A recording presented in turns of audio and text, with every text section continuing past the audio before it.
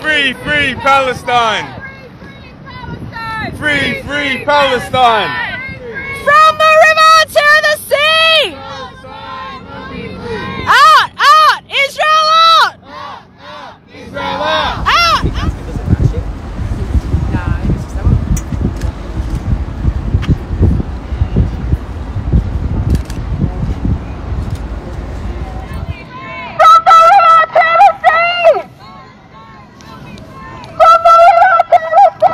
For everyone just joining, we're still on the water down at Swanson Dock.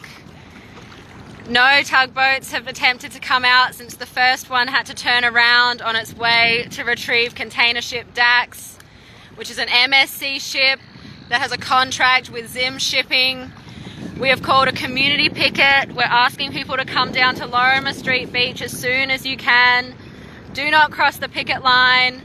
We call on all unionists who stand for Palestine and believe in the end to the occupation to act accordingly. Do not work with Israel. No trade with Israel. Free Palestine. Get your asses down here.